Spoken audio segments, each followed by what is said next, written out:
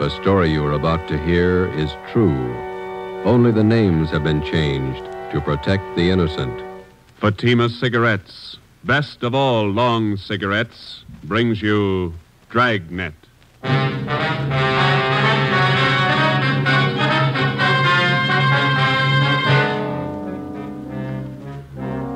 You're a detective sergeant. You're assigned to Bunko Fugitive Detail. You receive information an escaped criminal is hiding out in your city. He's dangerous.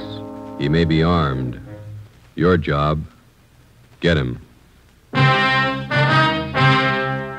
If you want a long cigarette, smoke the best of all long cigarettes. Smoke king size Fatima. Fatima is the long cigarette which contains the finest Turkish and domestic tobaccos superbly blended to make Fatima extra mild. And that's why Fatima has a much different, much better flavor and aroma than any other long cigarette. That's why Fatima has more than doubled its smokers coast to coast. So enjoy Fatima, the best of all long cigarettes. It's wise to smoke extra mild. Fatima. It's wise to smoke extra mild Fatima.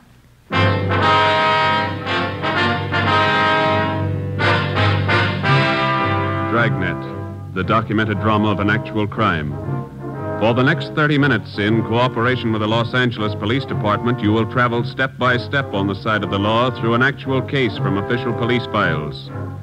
From beginning to end, from crime to punishment, Dragnet is the story of your police force in action. It was Thursday, April 27th. It was warm in Los Angeles. We were working a night watch out of Bunko Fugitive Detail. My partner's Ben Romero. The boss is Blaine Steed, captain of Bunko Fugitive. My name's Friday. I was on the way back from communications, and it was 6.45 p.m. when I got to room 38, squad room. Hi. How are you? How about some dinner? Well, we got one to check out first. Here's the teletype. Skipper just brought it in. Thanks. From San Rafael, huh? Pick up and hold for this department one Alfred Garvey. Wanted for suspicion, forgery, robbery. This man poses as a fingerprint expert from San Rafael Police Department. Here's his mug pulled from the record bureau. Mm-hmm. We're informed Garvey is registered at the Fair Deal Hotel, your city. Where's that? Over near First and Broadway. Yeah. Please advise us on his arrest, and officers will arrive with warrant signed Chief Police Frank Kelly, San Rafael, California. Shouldn't take long to pick him up. All right, we can eat later, I guess. Hi. Hi, Max. What are you doing around? I thought you took off on vacation. I am. Just came back to pick up some stuff from my locker. Soft touch. Sure. Uh, listen, the wife's got the car there. Are you guys going anywhere near North Main and Daly? Yeah, we're going to leave right now. Oh, okay. Let me grab my coat. All right. You live out near Highland Park, don't you, Mac? Yeah. Wife took the kids shopping in the car this afternoon. Had to get them shoes for our vacation. Kids sure scuff up the toes in a hurry. All right, you all set? Let's go. Where you going on your vacation? Big Bear. Gonna stay the whole three weeks. The in-laws own a cabin up there. They even pay the utilities for us. It's pretty nice. Only one trouble. What's that? They're coming with us. Oh. Where'd you park? In the captain's stall. All right.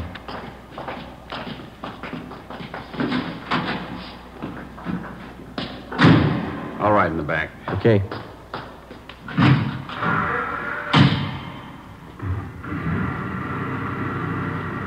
You two still working on that Valley case? No, we washed it up Monday. What's this one? Teletype from San Rafael. And what some guy picked up. Here's a mugshot. Who's Richards going to work with while he's gone, Mac? I don't know. What's the crowd up ahead? No, yeah. Shriners Convention. I forgot they were having a parade tonight. You better stay over to one side. I think we can get through all right. Watch those kids there. Yeah, there we go. That's the place up ahead, isn't it? Mm, fair deal, yeah. We got to stop by this hotel a minute, Max. You want to wait here? I'll come in.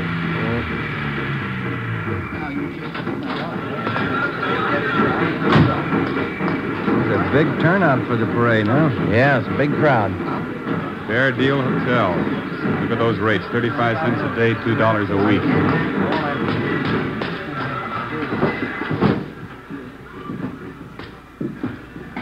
Yes, sir. Can I help you? Police officers, would you look at this picture, please? All right. Maybe registered as Alfred Garvey. Garvey sure came in yesterday. The picture makes him look old. Is he in now? Well, let's see. Garvey, room 307. The key's gone. He must be in. Thank you. Yes, sir. Elevator's down there at the end of the hall. Okay. The elevator's in use. Let's take the stairs. I'll wait for you here. I want to see the parade. Okay, Max. Never seen it to fail. Uh, Stairs. Every time my arch is hurt, we get a thief to check who lives upstairs. just one more flight. Yeah.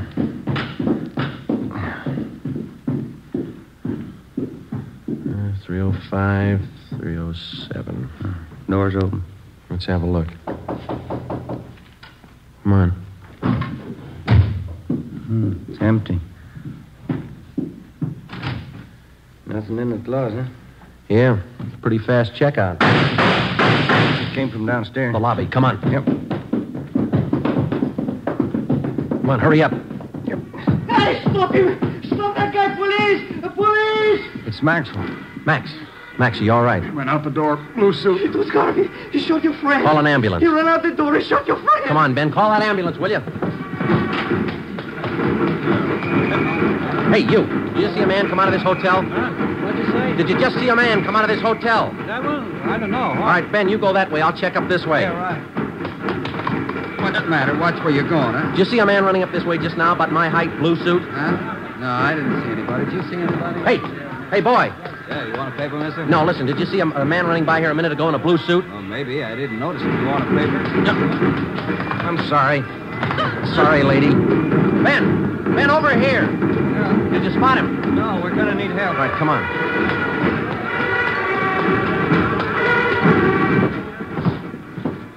I called the ambulance. You better help your friend. He's bleeding. I don't know what to do. Ben, get a hold of communications. Get some help out here. Right. The guy came down in the elevator. It was Garvey, your friend, tried to stop him. Garvey shot him right in the face. All right, stop He yelling, was huh? terrible. Now look, he's bleeding. You better do something. Will you shut up? Max. Max, how is it? Chest hurts. Yeah, all right, easy, huh? Garvey came out of the elevator fast with a gun. All right, take it easy now. Joe, I got communications there blocking off the area. That's fine. Watch that front door. Will you keep those people out of here? Yeah, yeah. Chest. I'll be here in a minute, boy. Call the wife, Eleanor. Ambulance is here. Yeah. He looks bad. Well, he's not going to get any worse. Hmm? He's dead.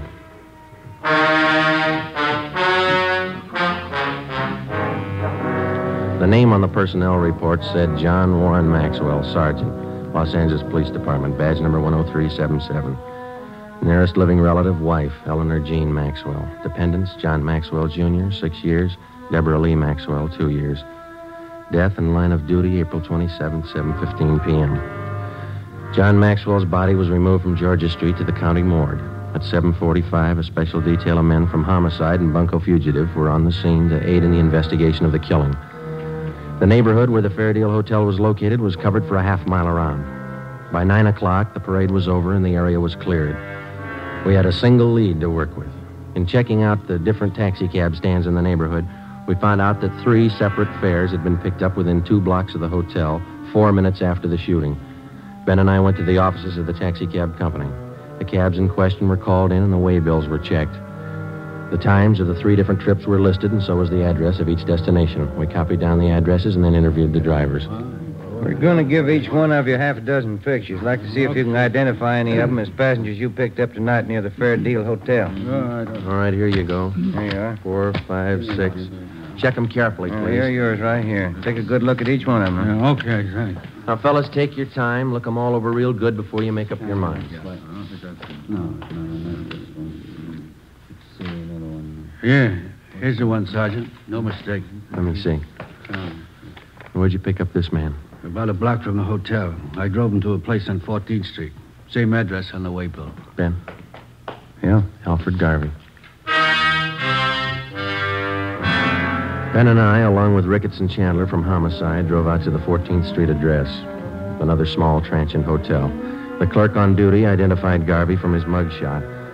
He said the suspect had called at the hotel at about 7.45 that night and asked to see one of the guests, uh, Mrs. Lorraine Thomas. The clerk said he told Garvey Mrs. Thomas was out, that she hadn't been there for four days.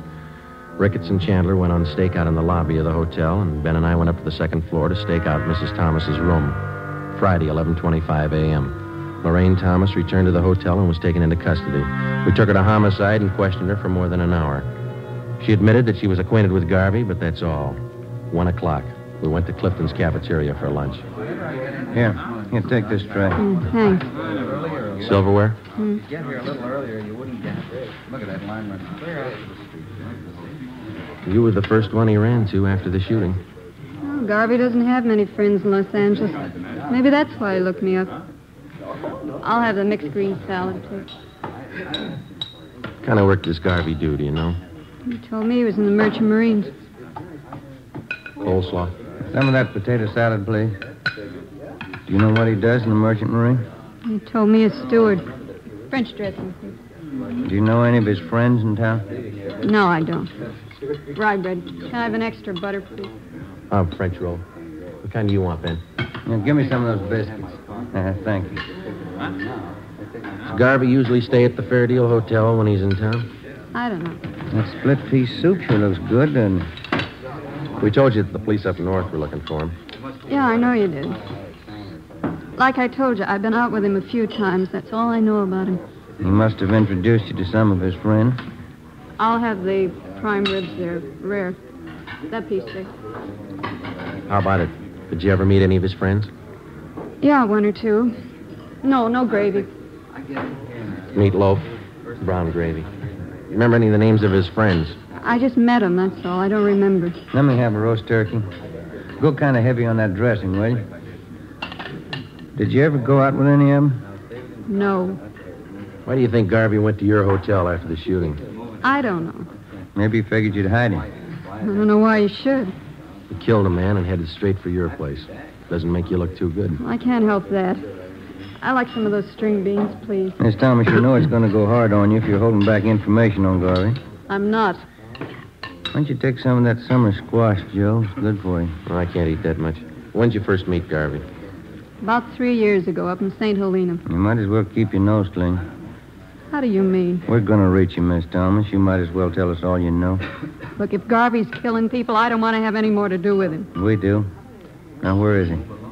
I told you I don't know. Squash, please. You said you had a little boy, didn't you, Miss Thomas? Do we have to talk about it now? I thought we were going to have lunch.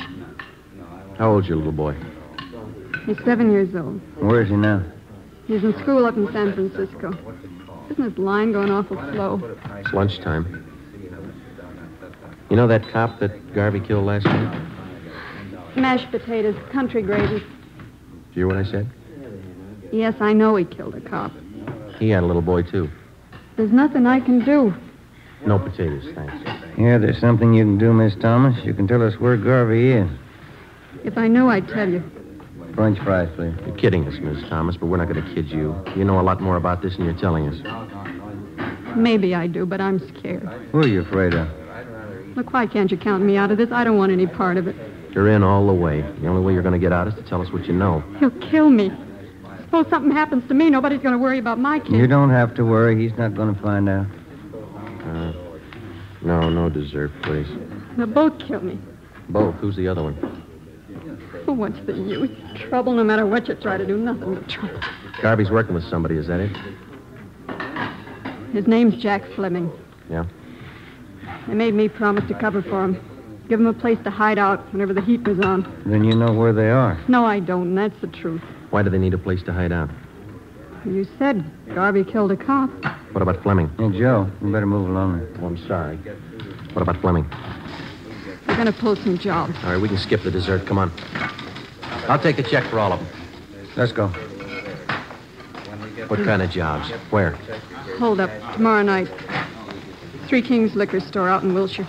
Let's sit down. They're both the same, Garvey and Flynn. They can't hold a gun without using it. Here's the table. Oh. oh, you dropped your tray. I'll get you some more. Don't bother. I'm not hungry anymore.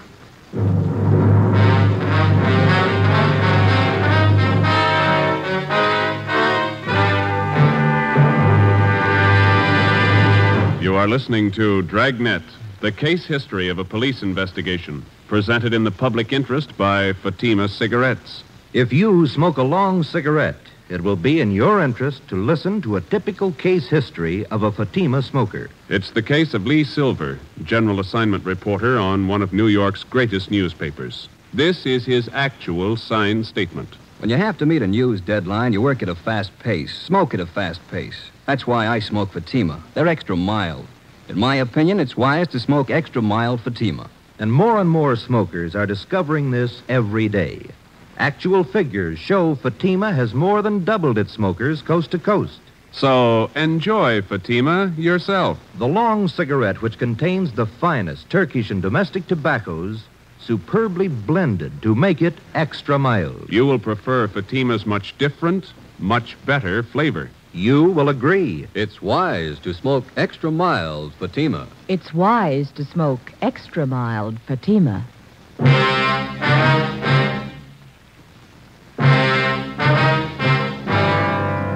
Saturday, April 29th. Last rites were held for Sergeant John Maxwell, and he was buried at Holy Cross Cemetery.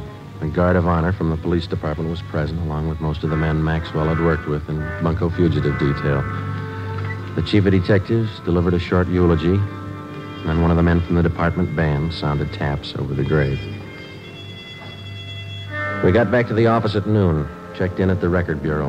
A photocopy room had taken negatives of Garvey's and Fleming's coming out mugs and made duplicates that were distributed to all officers. The stakeouts continued at the Fair Deal in the 14th Street Hotel where Lorraine Thomas was staying. She was put under protective custody. Ben and I, Ricketts and Chandler, went on stakeout at the Three Kings Liquor Store on Wilshire Boulevard. It was a large, modern place, and it did a volume business, especially on Saturday night. Ricketts and Chandler covered the store from the outside. Ben and I were stationed in the supply room at the rear of the place, where we had the main counter and most of the store in full view. We set up a prearranged signal with the clerk on duty, and if and when Garvey and Fleming showed up, the clerk was to accidentally knock an empty bottle off the counter. We waited until midnight. Nothing happened. It's the first customer in half an hour. It's kind of slow. Yeah. Wait a minute. Here comes another one. No sale. It's a woman. Bottle of muscatel, please. That clerk sure got the jitters. Well, I'll put in with him. Well, I could go for a hamburger. What didn't you eat dinner? I wasn't very hungry then. Oh, I got an almond bar. You want it? Yeah, thanks. Wait a minute. Another customer. Yeah, man. Can't see his face too well with that hat on, can you? That's Fleming. Come on. Police officers, get your hands up. Watch it, Joe. You're hitting. He's going out the front. Come on. Ricketts and Chandler stopped him. Yeah, he's down. Watch him. Get the gun. Yeah. Yeah, here, here it is. That's Fleming, all right. Ricketts, call an ambulance. What's the score? Looks like one in the shoulder and legs, too. What about Garvey? I don't know. What do you think? Fleming stopped all the slugs. Yeah. Let's ask him.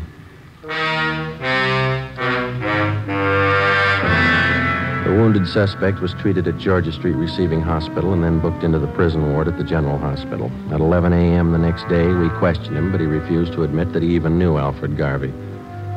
We re-questioned Fleming for the next three days with no results. The stakeouts continued. The search went on. There was no response to our APB. Garvey was still at large. As far as we were concerned, there was only one way to get directly to Garvey, and that was through Fleming. We called on Lorraine Thomas again and asked her that if she'd try to get some information on Fleming, try to get him to talk and to tell her where Garvey was. I'm not even sure if he knows where Garvey's hiding. He must have a good idea. Even if he has, he's not going to tell me. He wouldn't trust me that far. He'll go further with you and he will with us. He won't even give us his name. I'm afraid it's up to you, Miss Thomas. Why can't you let me out of this? Hey, look, figure it this way. You knew about Fleming and Garvey. You knew they were in town. You knew what they were up to. You didn't break your back to save that dead cop's life. Garvey shot him. I did. You knew he was a killer. You knew he had a gun. What do you want me to do? Get close to Fleming. Visit him every day till he talks. But he doesn't trust me. I told you. Then get him to trust you, will you? Do favors for him. He wants to contact friends to raise money for a lawyer. Help him do that. Run errands. Do anything for him within reason. Suppose he finds out about the holdup. That I told you about it. He's got a long stretch ahead of him. He won't bother you. They'll kill me if they find out. They wouldn't wait a minute. They won't find out. All right. Won't be my fault. Al did the shooting. He killed the cop. Let him square it up. He'll square it with the court. There's only one trouble. Yeah? Maxwell's wife and kids. How does Al square it with them? On the morning of May 8th, suspect Jack Fleming was removed from his private room and wheeled down to the x ray lab on the pretext of treatment. While he was absent, a dictaphone was placed in his room by a sound crew from the crime lab. Fleming was then returned. That afternoon, while Ben and I listened in on earphones in the next room, Lorraine Thomas paid her first visit to Fleming. We had briefed her on how to proceed in getting the suspect to talk, in particular, to reveal Garvey's hideout. It was a slow process. For the next 15 days, between the hours of 2 and 4 in the afternoon, Mrs. Thomas visited Fleming while Ben and I monitored their conversation in the adjoining room. For 15 days, despite all her shows of confidence, Fleming refused to confide. He was sullen and close mouthed. Some afternoons, he would hardly speak to her. On the 16th day, his mood seemed to be improving. Here. Let me fix that pillow for you, Jack. There. Is that better? Yeah. That's good. Thanks. I, uh, I got in touch with Dave and Johnny like you asked me to. Huh? What'd they say? Well, they said they could get you the money for the lawyer the day after tomorrow. And Dave said he might be over to see you tonight. Oh, that's fine. Once I get a lawyer, I'll stop worrying. I stopped by Danelli's place, too. Pop Royce wasn't there. I'm going back tomorrow to see him. He ought to be able to help. You've been okay, Larry. I won't forget it.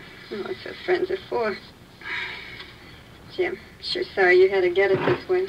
Forget it. I can give it back where it came from. Say, I brought you some new magazines, a couple of candy bars. Swell. Uh, put them over here near the bed, will you? Yeah, sure. Let me get them for you. There, Jack. See, I'll put them right here on this table. I'll bring you some more tomorrow. Oh, that's fine. You're going to try and see Pop Royce again tomorrow. Yeah, they told me he'd be in around noon for sure. If I don't see him then, I'll keep trying till I do. Yeah, that's it. Oh, listen. There's something else. Sure, Jack. Come here. Hmm? I don't want to talk loud. The cops might have bugged this room. Yeah. All right. A little closer. Okay. Tonight, I want you to go to George's joint, the Blue Moon, down on South Flower, Yeah? and ask for George at the bar. He's usually around from 11 on.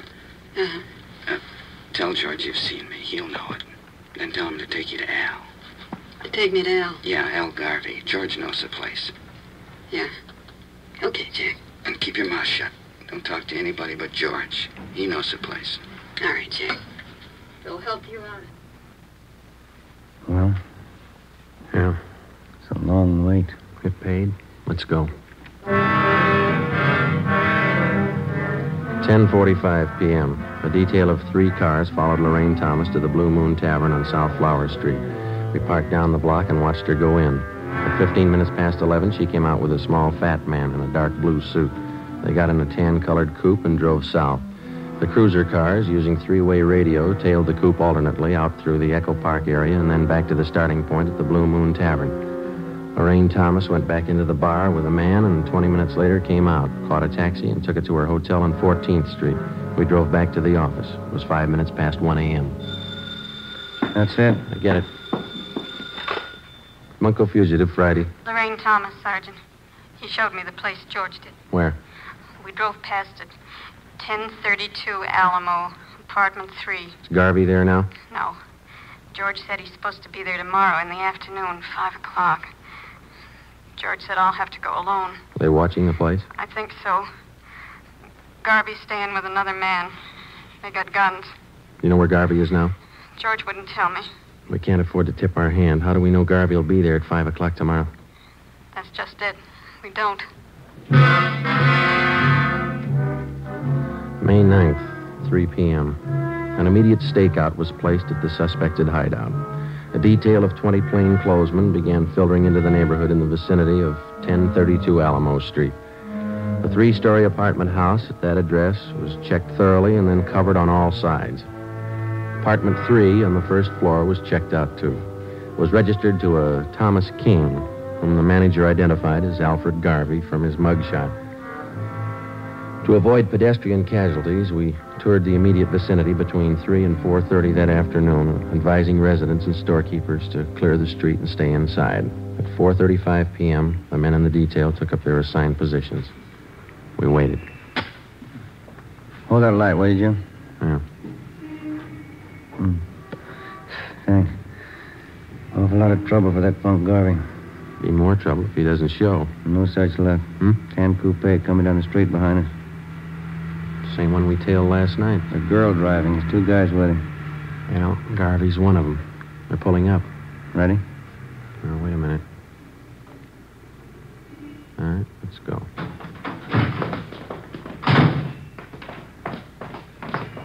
Police officers, hold it right there. Hell, cops! Don't get down. They're behind the car. Throw him in, Garvey. You haven't got a chance.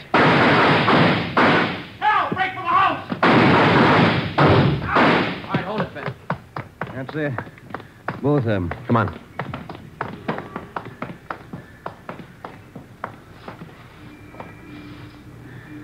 Both dead.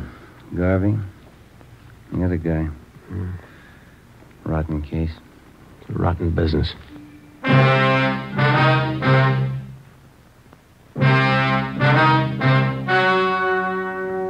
The story you have just heard was true. Only the names were changed to protect the innocent. On August 2nd, trial was held in Superior Court, Department 93, City and County of Los Angeles, State of California. In a moment, the results of that trial. It's amazing how many long cigarette smokers are changing to Fatima. Here is the actual report.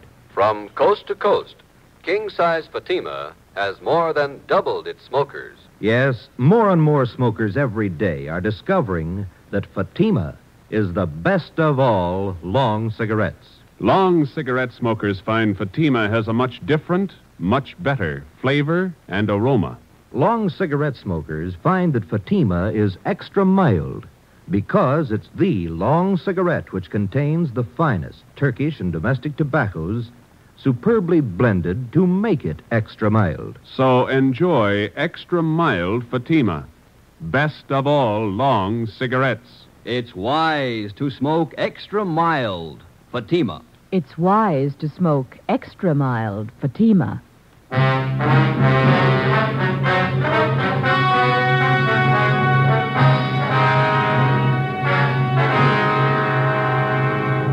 Jack Fleming, the only survivor of the holdup gang, was found guilty of several counts of armed robbery.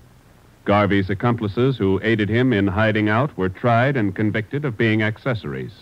They are serving prison terms as prescribed by law.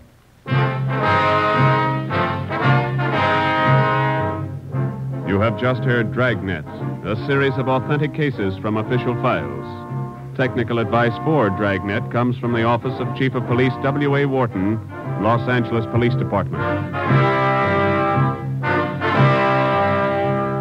Fatima Cigarettes, the best of all long cigarettes, has brought you Dragnet from Los Angeles.